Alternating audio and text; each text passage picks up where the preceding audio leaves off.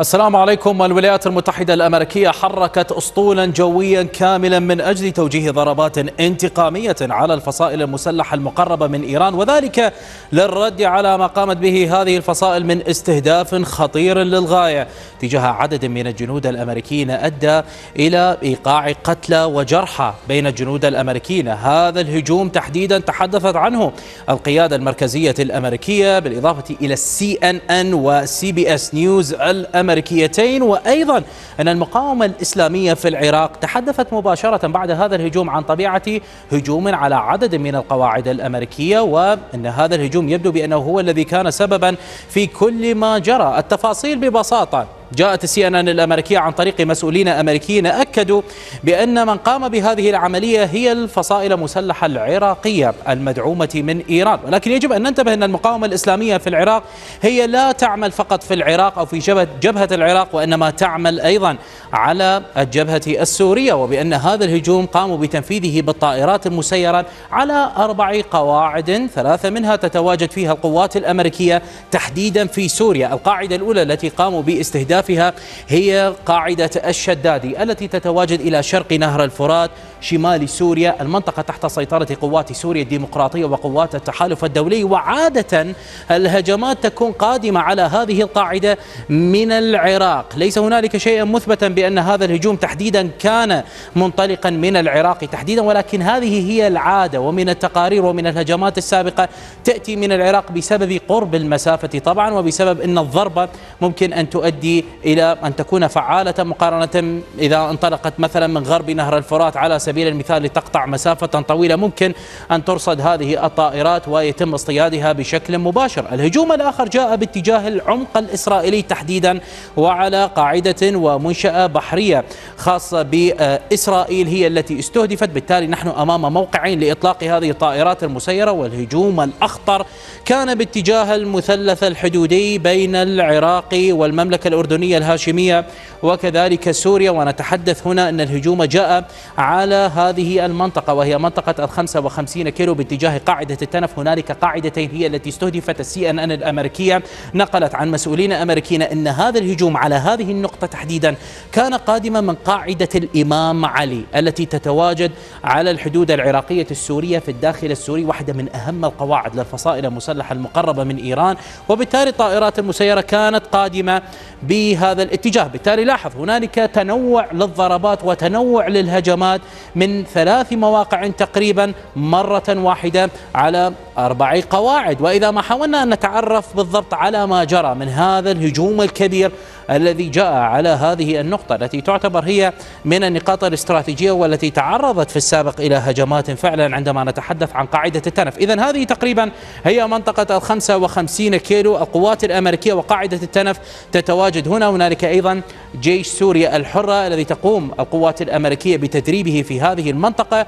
أما القاعدة الأخرى فهي قاعدة الركبان. نتحدث عن البرج 22 الذي يتواجد داخل الأراضي الأردنية داخل المملكة الأردنية الهاشمية على مسافة كيلو متر واحد فقط. بالإضافة إلى ذلك إلى أن هنالك نقطة أخرى هنا وهي مخيم الركبان الذي يتواجد فيه وتتواجد فيه أو يتواجد فيه اللاجئين السوريين هنا بسبب الحرب الأهلية وصعوبة هذه الحرب طبعا التي أدت بهم إلى أن يتواجدوا في هذا المخيم. بالنسبة لهذه الفصائل طبعا استخدمت الطائرات المسيرة مباشرة لتهاجم قاعدة التنف. قاعدة التنف معروف عنها بأنها آه، في أغلب الأحيان تصاب من قبل أو تتم إصابتها أو تتمكن الفصائل الموجودة إن كانت في العراق وإن كانت في سوريا من إصابتها بسبب طبيعة المنظومات الدفاعية التي لا تبدو محصنة 100% في هذه المنطقة.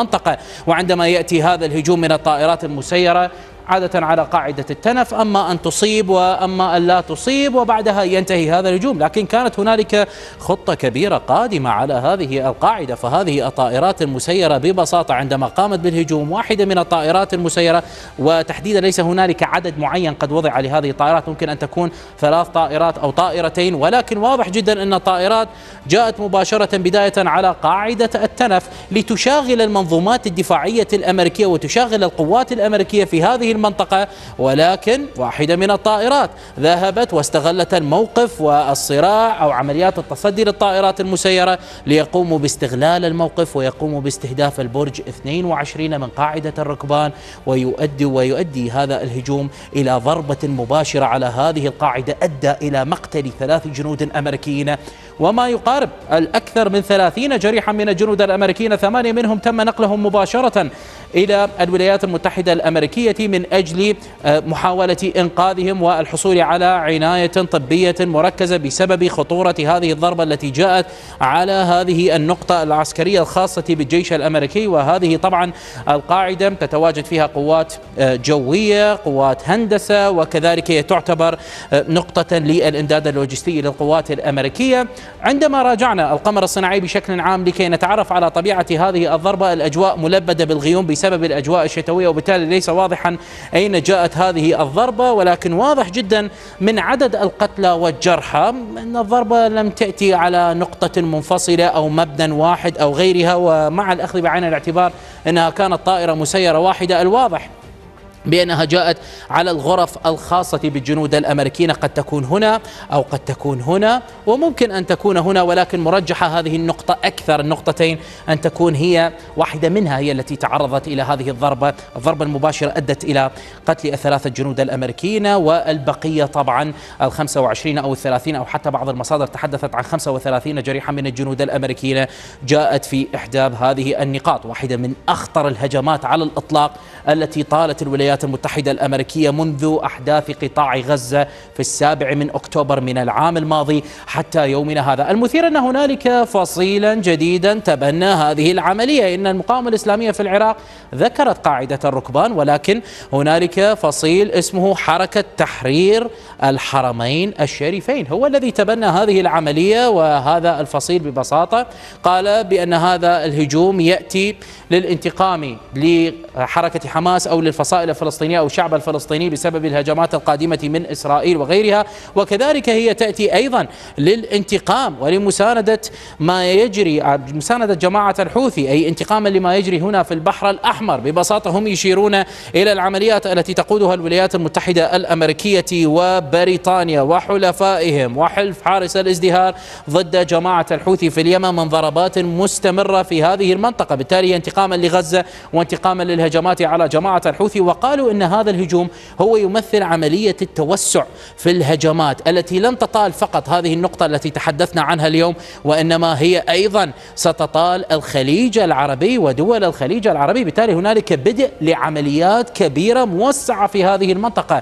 ولا بد من الانتباه إلى أن هذه الحركة تسمى أو أطلقت على نفسها حركة تحرير الحرمين الشريفين. في إشارة واضحة للمملكة العربية السعودية بأن المملكة العربية هذا قد يعني بأن هذه المجموعة ستبدأ بهجماتها على المملكة قريبا. وكذلك أن مملكة البحرين كانت هنالك معلومات في السابق في ظل دعمها للعمليات التي تجري ضد جماعة الحوثي بموجتين من الضربات وعملية عسكرية مستمرة على جماعة الحوثي. البحرين سبق وأن ظهرت معلومات ونشرت على ال OSINTdefender من مسؤولين أمريكيين أكدوا بأن جماعة الحوثي تريد استهداف مملكة البحرين بسبب مساندتها لهذه العمليات. بالتالي هي هدف الأسطول الخامس الأمريكي يتواجد هناك. وكذلك سبق وهذه المعلومات من ال OSINTdefender تحدثت عن استهداف محتمل على الإمارات العربية المتحدة وتحديدا على القواعد الأمريكية هناك. ولكن يبدو مع هذه الضربات المستمرة من قبل الولايات المتحدة الأمريكية وبريطانيا مدعومة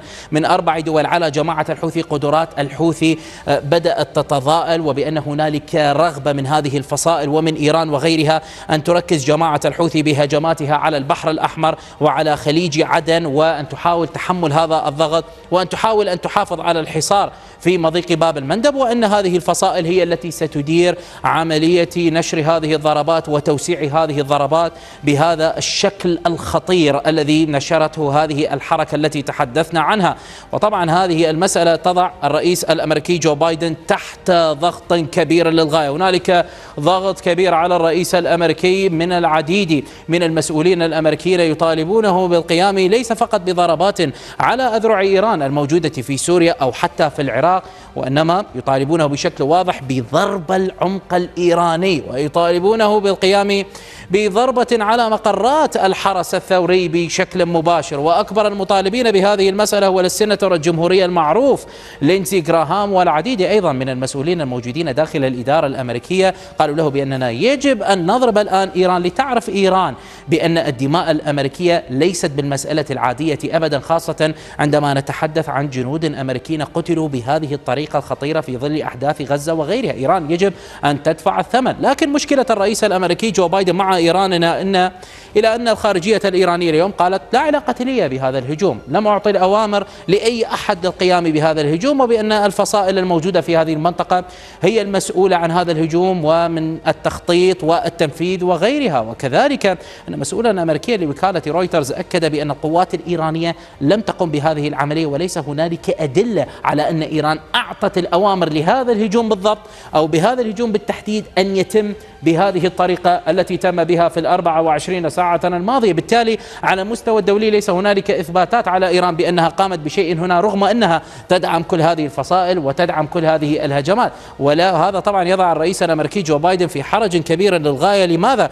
لأن هذا الرئيس في حالة قام بضرب إيران كما يتم الضغط عليه الآن. فهذا قد يعني مستقبل المفاوضات النووية للعودة للاتفاقية النووية بعد انتهاء أحداث غزة وممكن له هذا الرجل أن يفوز في الانتخابات القادمة لأربع سنوات قادمة فرص الدبلوماسية والعودة للاتفاقية النووية أو تحقيق أي اتفاق جديد.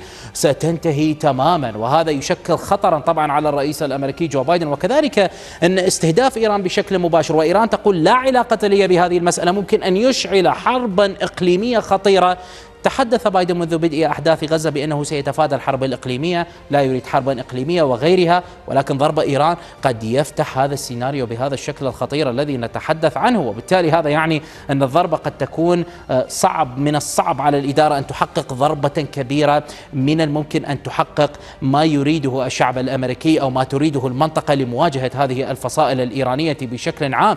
ليس هذا فحسب بل إن الرئيس الأمريكي جو بايدن أيضا بدأ يوضع بمقارنات مع الرئيس الرئيس الأمريكي السابق دونالد جي ترامب هذا الرجل الذي هو قادم بقوة على ما يبدو حتى هذه اللحظة في جولة ثانية لمواجهة جو بايدن خلال هذا العام في الانتخابات الرئاسية آه، الأمريكية القادمة في نوفمبر لأن دونالد ترامب في عام 2020 كلنا نتذكر بأن عندما قتل متعاقد أمريكي ليس من أصول أمريكية يحمل الجنسية الأمريكية قتل بعد ذلك طبعا دونالد ترامب قتل وقام بتصفية القائد أو اغتيال.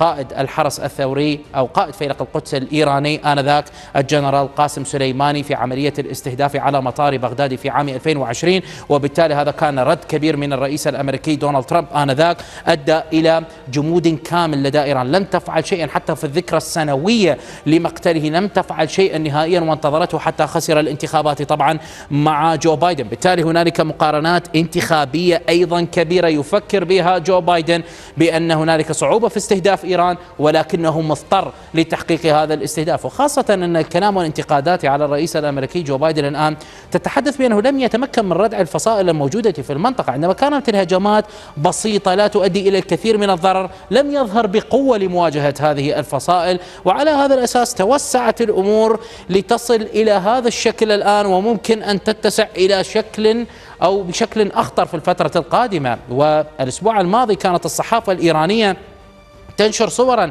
لجو بايدن وكأنه يتعرض إلى اللكمات في هذه المنطقة والولايات المتحدة لم تعد مقبولة بعد دعمها لإسرائيل في قطاع غزة وغيرها وتحدثوا عن 170 هجوما أكثر من 170 هجوما تجاه القوات الأمريكية. بالتالي الرئيس الأمريكي الآن يواجه ظرفا خطيرا ألا وهو ثلاثة أرواح من الجنود الأمريكيين قتلوا مع جرحى ممكن أن تتأزم ظروفهم في الفترة القادمة. لكن الضربة الأمريكية قادمة وقادمة بقوة. بلومبرغ هي التي تحدثت عن هذه المسألة عن شخص مطلع وهو الذي أكد أن ضربة تقتل الأمريكيين من شأنها أن تجبر على رد فعل أقوى مما فعلته الولايات المتحدة حتى الآن. وهنا يتحدثون عما جرى من السابع من أكتوبر حتى يومنا هذا. ليس هذا فحسب بل إننا تحدثنا عن أسطول أمريكي جوي الآن قد تحرك تجاه منطقة الشرق الأوسط وهذا هو الأمر الذي ظهر أيضا في الأربع وعشرين ساعة الماضية من طائرات KC 135 Stratotanker. هذه الطائرات هي تستخدم لعملية تزويد الوقود للطائرات الحربية وكذلك نتحدث عن ال C 17 Globemaster المتخصصة بعملية نقل الجنود الأمريكيين أو المعدات العسكرية الأمريكية. أيضا ظهرت ال Flightradar 24 مباشرة بعد عملية مقتل هؤلاء الجنود الأمريكيين. وهذا الحادث الخطير ظهرت تسجيلات ال Flightradar 24 لتسجل طائرات ال C 17 A Globemaster ثلاث طائرات هنا وثلاث طائرات من طائرات ال KC 135 وهذه صورة أوضح لهذه الطائرات كما تلاحظون وهي تحلق من الأجواء الأمريكية وهذه هي تقريبا هي الطائرات التي تحركت ست طائرات هي التي انطلقت مباشرة إلى المنطقة. هذه الصورة آه، طبعا انطلاق هذه الطائرات لكي نفهم هو من الولايات المتحدة الأمريكية إلى أوروبا. مرشح أن تذهب إلى اليونان أو أن تدخل مباشرة إلى منطقة الشرق الأوسط. عادة تذهب إلى اليونان ومن ثم تنتشر في منطقة الشرق الأوسط ولكن تسجيلات الفلايت ريدار 24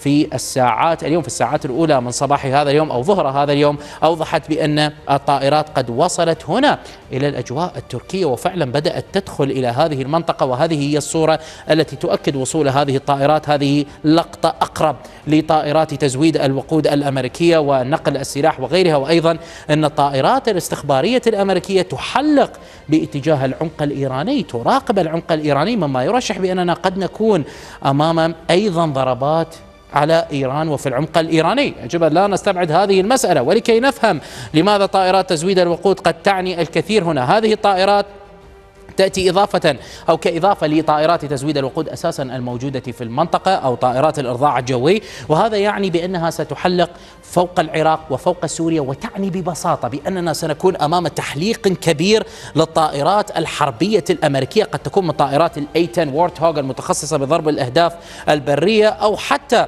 طائرات الأف 16 أو غيرها المتواجدة في المنطقة وهذا يعني بأننا سنكون أمام عدد كبير من الطائرات الحربية تنتشر في هذه المنطقة قد تكون من 20 إلى 30 أو حتى 40 طائرة وهذا يوضح بأننا أمام ضربة عسكرية كبيرة مرشح تماما أن تذهب لضرب الداخل العراقي والفصائل العراقية خاصة وأن الاتهامات الأمريكية تذهب إلى الفصائل الموجودة في العراق خاصة وأنها جاءت بإطار المقاومة الإسلامية في العراق وكذلك مرشح أن تضرب بعض النقاط الموجودة للفصائل الموجودة في سوريا وخاصة أن الطائرات المسيرة بحسب السي إن إن انطلقت من قاعدة الإمام علي الموجودة في الداخل السوري. وكذلك قد تذهب الضربات بنسبة أقل على العمق الإيراني بسبب الظروف ولماذا نقول أقل؟ بسبب الظروف الدبلوماسية الصعبة التي ممكن أن تتطور بعد ضرب إيران الحرب الإقليمية والأمور العودة للاتفاقية النووية أو مفاوضات مستقبلية حول ما يجري في غزة أو حتى إذا اندلعت الأمور بشكل أكبر مع حزب الله اللبناني وإسرائيل. بالتالي إيران لها حسابات خاصة بهذه الضربة. ومع انتقال هذا ومع تحرك هذا هذه الطائرات الأمريكية ودخولها إلى هذه المنطقة يجب أن ننتبه ممكن أن تكون هنالك طائرات حربية قد أغلقت آه، طبعا الاتصال آه، الجاري مع هذه الطائرة أو تم إخفاؤها من الرادارات. بالتالي لا نعرف كيف ستكون الترتيبات ولكن واضح هي ضربة كبيرة وكبيرة للغاية قادمة من الولايات المتحدة الأمريكية. ويجب أيضا أن لا يتم استبعاد أن يكون هنالك استهدافا للسفينة التي تسببت بالكثير من المشاكل للولايات المتحدة الأمريكية ومشاكل في البحر الأحمر وخليج عدن ألا وهي سفينة بهشاد الإيرانية. فهذا هدف محتمل ممكن أن يستهدف في أي لحظة. سفينة بهشاد المتمركزة هنا في خليج عدن كما ترون وهذه صورة أقرب مما حدده شيزو إنتل. تلاحظ بأن هذه السفينة سفينة بهشاد متواجدة متهمة بأنها تعطي المعلومات الاستخبارية لجماعة الحوثي لتحقق هجماتها في خليج عدن بعد انتقالها. طبعا لهذه المنطقة المنطقة ازدادت استهدافاتها في خليج عدن مقارنة في البحر الأحمر واستهدافات دقيقة ودقيقة للغاية تجري الآن في خليج عدن بسبب المعلومات التجسسية والإحداثيات التي تعطيها لجماعة الحوثي وحتى الحرس الثوري الإيراني الموجود في اليمن. وعلى سبيل المثال كما تلاحظون اليوم المتحدث باسم القوات المسلحة اليمنية عن جماعة الحوثي العميد يحيى السريع قال بأننا استهدفنا سفينة تابعة للبحرية الأمريكية في خليج عدن. لاحظ أن هذه السفينة هي تبقي الأمور صعبة على الولايات المتحدة وبريطانيا في آه، مضيق باب المندب وهي جزء كبير من عملية الحصار المطبق على تلك المنطقة. بالتالي ممكن أن نرى غرق هذه السفينة. لا ندري ولكن واضح أن الأمور آه، وصلت إلى أصعب آه، لحظاتها ومن الممكن أن نرى أشياء صعبة للغاية في الساعات القادمة.